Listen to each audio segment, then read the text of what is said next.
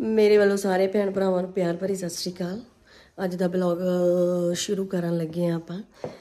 ਅੱਜ ਜਾਣ ਵਾਸਤੇ ਤਿਆਰ ਹਾਂਗੇ ਸਵੇਰ ਹੋ ਚੁੱਕੀ ਹੈ 7:30 ਅੱਠ ਕੁ ਦਾ ਟਾਈਮ ਹੈਗਾ। ਬਾਹਰ ਬਾਹਰ ਦਾ ਮੌਸਮ ਅੱਜ ਵਧੀਆ ਹੈਗਾ।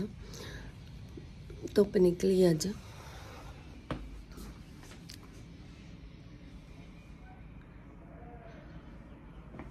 ਉਸ ਤੋਂ ਬਾਅਦ ਅੱਜ ਦੀ ਸਵੇਰ ਸਾਰੇ ਆਪੋ ਆਪਣੇ ਕੰਮਾਂ ਤੋਂ ਲੈ ਕੇ ਸਟਾਰਟ ਕਰਨ ਲੱਗੇ ਆ। ਕੁਝ ਘਰੇ ਵੀ ਰਹਿਣਗੇ ਔਰ ਕੁਝ ਬਾਹਰ ਵੀ ਜਾਣਗੇ। ਤੇ ਮੇਰਾ ਅੱਜ ਦਾ ਸਾਰਾ ਦਿਨ ਹੀ ਬਿਜ਼ੀ ਹੈਗਾ, ਮੈਂ ਬਾਹਰ ਜਾਊਂਗੀ। ਰਾਜ ਭੈਣ ਵੀ ਆਪਣਾ ਕੰਮ ਸ਼ੁਰੂ ਕਰਨ ਲੱਗੀ ਹੈਗੀ। ਇਹਦੀ ਵੀ ਸ਼ੁਰੂਆਤ ਹੋ ਚੁੱਕੀ ਹੈ ਕਿ ਵਾਹਿਗੁਰੂ ਜੀ, ਰਾਜੂ ਭੈਣ ਪਾਠ ਕਰੀ ਜਾਂਦੀ ਆ। ਇਹ ਹਮੇਸ਼ਾ ਆਪਦਾ ਦਿਨ ਇੱਥੋਂ ਹੀ ਸ਼ੁਰੂ ਕਰਦੀ ਹੈਗੀ।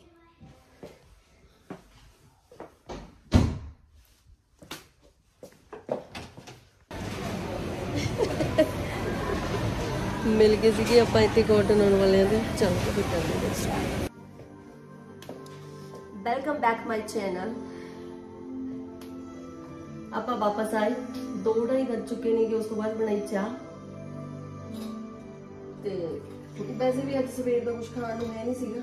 ਇਸੇ ਕਰਕੇ ਆਪਾਂ ਆਪਾਂ ਲੱਗੇ ਸਭੇ ਸਭੇ ਖਾਇਆ ਔਰ ਉਸ ਤੋਂ ਬਾਅਦ ਸੋਚਿਆ, ਅਸੀਂ ਬਣਾਏ ਸੀਗੇ ਆਲੂ ਮੇਥੇ ਆਲੂ ਮੇਥੇ ਵਾਲੀਆਂ ਰੋਟੀਆਂ। ਸੋ ਜਿਹੜੀ ਬਚ ਗਈ ਸੀਗੀ ਆਲੂ ਮੇਥਿਆਂ ਦੀ ਸਬਜ਼ੀ, ਉਹਦੇ ਨਾਲ ਅਸੀਂ ਗੁੰਨ ਦਿੱਤਾ ਦੁਬਾਰੇ ਮੋੜ ਕੇ ਆਟਾ ਤੇ ਇਸ ਲਈ ਹੁਣ ਬਣਾਵਾਂਗੇ ਆਲੂ ਮੇਥਿਆਂ ਦੀਆਂ ਰੋਟੀਆਂ। ਰੋਟੀਆਂ, ਪਰੌਂਠੇ, ਰੋਟੀਆਂ ਜੋ ਵੀ ਹੈ। ਹੈ। ਤੇ ਮੈਂ ਬਣਾਈ ਦੋ ਕੱਪ ਚਾਹ ਦੇ। ਉਸ ਤੋਂ ਬਾਅਦ ਚਾਹ ਨੂੰ ਆਲੂ ਮੇਥਿਆਂ ਦੀਆਂ ਰੋਟੀਆਂ ਦੇ ਨਾਲ ਇੰਜੋਏ ਕੀਤਾ ਜਾਊਗਾ।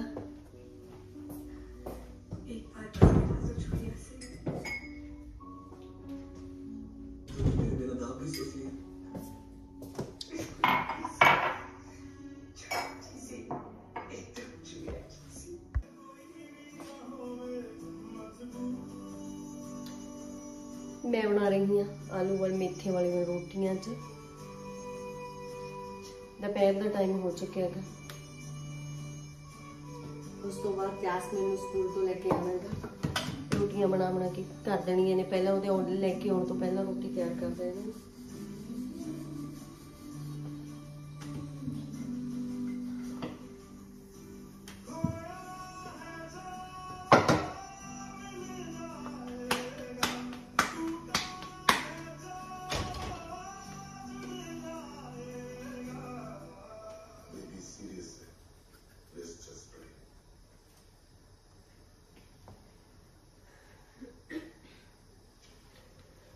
ਆਲੂ ਮੇਥੇ ਵਾਲੀਆਂ ਰੋਟੀਆਂ ਜਿੱਦਾਂ ਕਿ ਆਪਾਂ ਸਾਰਿਆਂ ਨੂੰ ਪਤਾ ਬਹੁਤ ਸਵਾਦ ਬਣਦੀਆਂ ਨੇਗੀਆਂ ਕਈ ਵਾਰੀ ਅਸੀਂ ਨਾ ਫਰੋਜ਼ਨ ਵੀ ਲਿਆਉਂਦੇ ਹੁੰਦੇ ਆ ਤੇ ਕਈ ਵਾਰ ਅਸੀਂ ਦੂਜਾ ਘਰ ਤੋਂ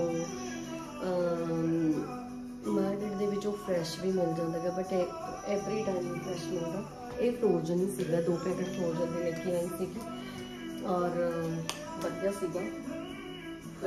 ਕੱਲ ਥੋੜੇ ਟਾਈਮ ਹੈ ਨਹੀਂ ਸੀਗਾ, ਰੋਟੀ ਰੋਟੀ ਬਣਾਉਣ ਦਾ, ਇਸ ਲਈ ਰਾਈਸ ਬਣਾ ਲਏ ਸੀ, ਇਸ ਲਈ ਆਲੂ ਭੁੱਜੀ ਜਿਹੜੀ ਬਣਾਈ ਸੀਗੀ, ਆਲੂ ਮੇਥੇ ਦੀ ਭੁੱਜੀ ਉਹ ਕਿਸੇ ਤੋਂ ਖਾ ਹੀ ਨਹੀਂ ਸੀਗੀ। ਸੋ ਉਹ ਬਚਦੀ ਸੀਗੀ ਜਿਹੜੀ ਆਲੂ ਮੇਥੇ ਥੋੜੇ ਮਿਕਸ ਕਰਕੇ, ਫਿਰ ਉਹਨੂੰ ਆਟੇ ਦੇ ਵਿੱਚ ਗੁੰਨ ਲਿਆ ਤੇ ਫਿਰ ਉਸ ਤੋਂ ਬਾਅਦ ਇਹਦੀਆਂ ਰੋਟੀਆਂ ਬਣਾ ਕੇ ਖਾਧੀਆਂ ਹੁੰਦੀਆਂ ਨੇ, ਬਹੁਤ ਸਵਾਦ ਲੱਗਦੀਆਂ ਨੇ। ਅਸੀਂ ਚਾਹ ਨਾਲ ਸਿੰਪਲ ਵੀ ਖਾ ਸਕਦੇ ਬਹੁਤ ਵਧੀਆ ਲੱਗਦੀਆਂ ਨੇ। ਇਹਦੀ ਜਿਹੜੀ ਸਪੈਕਸ ਸੀਗੀ ਉਹ ਜੈਸਮਿਨ ਨੇ ਤੋੜ ਦਿੱਤੀ ਸੀਗੀ, ਫਿਰ ਇਹ ਸਪੈਕਸ ਚੇਂਜ ਕਰਵਾ ਕੇ ਆਈ ਹੈ। ਸਭ ਤੋਂ ਵੱਡੀ ਗੱਲ ਪਤਾ ਕੀ ਹੁੰਦੀ ਹੈ, ਇੱਥੇ ਸਪੈਕਸ ਨਾ ਬਣਵਾਉਣੀ ਇੱਥੇ ਬਹੁਤ ਮਹਿੰਗੀ ਪੈਂਦੀ ਹੈਗੀ। ਔਰ 400 ਡਾਲਰ 450 ਡਾਲਰ ਜੀ ਬੰਦਾ ਸਪੈਕਸ ਬਣਾਉਂਦਾ ਨਾ ਨਿਗਾ ਵਗੈਰਾ ਚੈੱਕ ਚੁੱਕ ਕਰਕੇ ਸਾਰਾ ਕੁਝ ਕਾਰ ਕੋਰ ਕੇ 450 ਡਾਲਰ ਦੇ ਕਰੀਬ ਲੱਗ ਜਾਂਦਾ ਹੈਗਾ। ਬਹੁਤ ਮਹਿੰਗਾ ਪੈਂਦਾ ਹੈਗਾ ਇੱਥੇ। ਪਹਿਲਾਂ ਤਾਂ ਬਣਾਈਆਂ ਸੀਗੀਆਂ, ਮੈਂ ਇਹਨੂੰ ਕਿਹਾ ਸੀਗਾ ਕਿ ਇਹ ਆਫਰ ਦਿੰਦੇ ਨੇ, ਇੱਕ ਦੇ ਨਾਲ ਇੱਕ। ਕਿਉਂਕਿ ਆਪਾਂ ਨੂੰ ਇਦਾਂ ਦੇ ਆਫਰ ਐਕਸੈਪਟ ਕਰ ਲੈਣੇ ਚਾਹੀਦੇ ਨੇ। ਕਿਉਂਕਿ ਆਪਾਂ ਨੂੰ ਨਹੀਂ ਪਤਾ ਹੈਗਾ। ਇਹ ਬੜੀਆਂ ਨਾਜ਼ੁਕ ਜਿਹਾ ਚੀਜ਼ਾਂ ਹੀ ਹੁੰਦੀਆਂ ਨੇ। ਐਨਕਾਂ ਉਨਕਾਂ ਜਦ ਡਿੱਗ ਡੁੱਗ ਪੈਂਦੀਆਂ ਨੇ ਕਈ ਵਾਰ ਬੱਚਾ ਹੱਥ ਉੱਤ ਮਾਰਦੇ ਤਾਂ ਥੱਲੇ ਡਿੱਗ ਪਿਆ। ਇਸ ਲਈ ਦੋ ਲੈ ਲੈਣੇ ਚਾਹੀਦੇ ਨੇ। ਕਿ ਮੈਨੂੰ ਪਤਾ ਹੈਗਾ, ਪਿਛਲੀ ਵਾਰ ਅਸੀਂ ਸੀਗੇ ਉੱਥੇ, ਗੁਰਵਿੰਦਰ ਨੇ ਦੋ ਆਫਰ ਸੀਗਾ। ਇੱਕ ਦੇ ਨਾਲ ਜਿਹੜੀ ਦੂਜੀ ਸੀਗੀ, ਉਹ ਥੋੜਾ 50% ਕੁਝ ਡਿਸਕਾਊਂਟ ਮਿਲ ਜਾਂਦਾ ਹੈ ਜੇ ਬੰਦਾ ਦੋ ਬਾਈ ਕਰਦਾਗਾ ਇਸੇ ਕਰਕੇ ਉਹਨਾਂ ਨੇ ਦੋ ਲੈ ਲਈਆਂ ਸੀਗੀਆਂ ਤੇ ਫਿਊਚਰ ਦੇ ਵਿੱਚ ਕਦੇ ਲੋੜ ਪੈਂਦੀ ਹੈ, ਫਿਰ ਐਟ ਏ ਟਾਈਮ ਲੋੜ, ਮਤਲਬ ਬੰਦੇ ਦਾ ਸਰ ਜਾਂਦਾਗਾ ਇਹਦੇ ਕੋਲ ਭੈਣ ਕੋਲ ਇੱਕੋ ਹੀ ਸਪੈਕਸ ਸੀਗੀ ਔਰ ਜਦੋਂ ਇਹਦੀ ਆ ਇਧਰਲੀ ਸਾਈਡ ਵਾਲੀ ਡੰਡੀ ਦੀ ਤੋੜ ਦਿੱਤੀ ਸੀਗੀ, ਫਿਰ ਉਹਦੀ ਨਾਲ ਦੀ ਨਾਲ ਸ਼ਾਪਿੰਗ ਸੈਂਟਰ ਵਿੱਚ ਜਾ ਕੇ ਉਹਨੂੰ ਸੈੱਟ ਕਰਾ ਕੇ ਆਉਣਾ ਪਿਆ। ਪਹਿਲਾਂ ਉਹਨਾਂ ਨੇ ਥੋੜੀ ਜਿਹੀ ਫੈਬਰਿਕ ਲਾ ਦਿੱਤੀ ਸੀਗੀ, ਫਿਰ ਉਸ ਤੋਂ ਬਾਅਦ ਕੀ ਕੀ ਕੰਮ ਹੋਇਆ? ਬਹੁਤ ਪੰਗੇ ਸ਼ੰਗੇ ਜੀ ਕਰਨੇ ਪੈਂਦੇ ਨੇਗੇ। ਔਰ ਮਹਿੰਗੇ ਮੰਗੇ ਬਹੁਤ ਜ਼ਿਆਦਾ ਪੈਂਦਾ ਗਾ ਇੱਥੇ, ਖਾਸ ਕਰਕੇ ਸਪੈਕਸ ਆ ਪਹਿਲਾਂ ਇਹਦੇ ਔਰ ਇਹ ਕੀ ਕਰਦੇ ਨੇਗੇ ਨਾ ਇੰਡੀਆ ਤੋਂ ਮੰਗਵਾਉਣੀਆਂ ਹੀ ਬੈਟਰ ਸਮਝਦੇ ਨੇਗੇ। ਵੈਸੇ ਇੰਡੀਆ ਤੋਂ ਮੰਗਵਾਈਆਂ ਜਾਂਦੀਆਂ ਨੇ ਕਿ ਉੱਥੇ ਠੀਕ ਰੇਟ ਤੇ ਮਿਲ ਜਾਂਦੀਆਂ ਨੇਗੀਆਂ। ਇੱਥੇ ਬਹੁਤ ਜ਼ਿਆਦਾ ਪੈਸਾ ਲੱਗ ਜਾਂਦਾ ਗਾ 20 ਘੱਟੋ ਘੱਟ ਇੰਡੀਆ ਦਾ 20000 ਰੁਪਇਆ ਲੱਗ ਜਾਂਦਾ ਗਾ 450 ਡਾਲਰ ਦੇ ਕਰੀਬ ਦੋ ਚ ਜੁੜਦੀਆਂ ਨੇ ਮਸਾਂ ਹੂੰ। ਸੁਣ ਲੈ। ਸੁਣਾ ਕੋਈ ਗੱਲਾਂ ਬਾਤਾਂ ਦੋ ਚਾਰ। ਹੈ? ਕਿਉਂ? ਗੁਰਵਿੰਦਰ ਨੇ 3:30 ਵਜੇ ਆਉਣਾ ਹੈਗਾ ਉਹਨੇ ਹੁਣ ਨਹੀਂ ਆਉਣਾ ਹੈਗਾ। ਤੂੰ ਮੇਰੇ ਨਾਲ ਚੱਲੇਂਗੀ 2:30 ਵਜੇ ਚੱਲੇਂਗੀ ਜਾਂ ਪੌਣੇ 3 ਚੱਲੇਂਗੀ? ਪੌਣੇ ਤਿੰਨ ਚਾਰ ਜਣਾ ਪੌਣੇ 3 ਚੱਲੇਂਗੀ। ਅੱਛਾ। ਇਹ ਮੇਰਾ ਮਨ ਕਰਦਾ ਸੀਗਾ ਅੱਜ ਜਿਹੜੀ ਮੈਂ ਉੱਥੇ ਡਰੈਸ ਦੇਖੀ ਸੀ ਉਹਨੂੰ ਲੈਣ ਵਾਸਤੇ ਮੇਰਾ ਮਨ ਕਰਦਾ ਸੀਗਾ ਪਰ ਮੈਂ ਉਹਨੂੰ ਛੱਡਿਆ ਸੀਗੀ। ਅ ਕੱਲ ਚੱਲਾਂਗੇ ਫਿਰ। ਇੰਨੇ ਪੈਸੇ ਲਾਉਣ ਦਾ ਮਨ ਵੀ ਨਹੀਂ ਕਰਦਾ ਸੀਗਾ। ਡਰੈਸ ਲੈਣ ਦਾ ਮਨ ਕਰਦਾ ਸੀ ਪਰ ਬਹੁਤੇ ਪੈਸੇ ਲਾਉਣ ਦਾ ਮਨ ਨਹੀਂ ਸੀਗਾ ਮੇਰਾ। ਕੱਲ ਚੱਲਾਂਗੇ ਠੀਕ ਹੈ ਜੇ ਟਾਈਮ ਮਿਲਿਆ ਹੈ? ਕੱਲ ਤੂੰ ਕਰੀਏ ਹੈ? ਹਾਂ ਕਰੀਏ ਕੱਲ ਨੂੰ ਫਿਰ ਚੱਲਦੇ ਆ।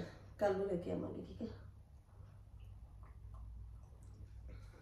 ਮੈਂ ਆ ਜਾਊਂਗੀ ਕੱਲ ਨੂੰ ਸਵੇਰੇ 7 ਵਜੇ ਆ ਜਾਊਂਗੀ ਤੇ ਫਿਰ ਉਦੋਂ ਬਾਅਦ ਚੱਲਦੇ ਆਪਾਂ ਠੀਕ ਹੈ ਹੂੰ। ਜਾਸਮੀਨ ਪਤਾ ਕੀ ਕਹਿੰਦੀ? ਮੰਮੀ ਉੱਤਰ ਪੁੱਤਰ ਹੋ ਗਏ ਅਸਲ ਦੇ ਵਿੱਚ ਕੀ ਹੋਇਆ ਸੀਗਾ, ਉਹ ਵੀ ਇੱਕ ਸਟੋਰੀ ਹੈ ਇਹਦੇ ਪਿੱਛੇ ਦੀ ਹੈ? ਆ ਥੋੜੇ ਜਿਹੇ ਦਿਨਾਂ ਦੀ ਗੱਲ ਹੈਗੀ। ਇਹ ਮੈਡਮ ਦੀ ਕਾਰ ਸੀ ਜਿਹੜੀ, ਉਹ ਮੇਰੇ ਨਾਂ ਤੇ ਸੀਗੀ। ਔਰ ਫਿਰ ਕੀ ਹੁੰਦਾ, ਇਹ ਨਾ ਹਮੇਸ਼ਾ 15 ਕੁ ਮਿੰਟ, ਕੋਈ ਵੀ ਜੌਬ ਸ਼ੁਰੂ ਕਰਨ ਤੋਂ ਪਹਿਲਾਂ 15 ਮਿੰਟ ਪਹਿਲਾਂ ਨਿਕਲਦੀ ਆ। ਮਤ- ਮਤਲਬ ਪੂਰੇ ਪੂਰੇ ਟਾਈਮ ਤੇ ਨਿਕਲਦੀ ਆ। ਕਿਉਂਕਿ ਬੰਦਾ ਕਈ ਵਾਰ ਟ੍ਰੈਫਿਕ 'ਚ ਵੀ ਫਸਦਾ, ਜੇ 5-10 ਮਿੰਟ ਕਈ ਵਾਰ ਬੰਦਾ ਨਾ ਲੇਟ ਹੁੰਦਾ ਦਿਸਦਾਗਾ, ਫਿਰ ਆਪਾਂ ਥੋੜਾ ਜ਼ਿਆਦਾ ਫਾਸਟ ਕਰਕੇ, ਤੇਜ਼ ਕਰਕੇ ਲੈ ਕੇ ਜਾਣ ਦੀ ਕੋਸ਼ਿਸ਼ ਕਰਦੇ ਆ, ਪਰ ਇਦਾਂ ਨਹੀਂ ਕਰਨਾ ਚਾਹੀਦਾ। ਕਿਉਂਕਿ ਜਿਹੜੇ ਇਧਰਲੇ ਲਾਇਸੈਂਸ ਨੇ ਨਾ, ਉਹ ਪੁਆਇੰਟਾਂ ਦੇ ਉੱਤੇ ਹੁੰਦੇ ਨੇ।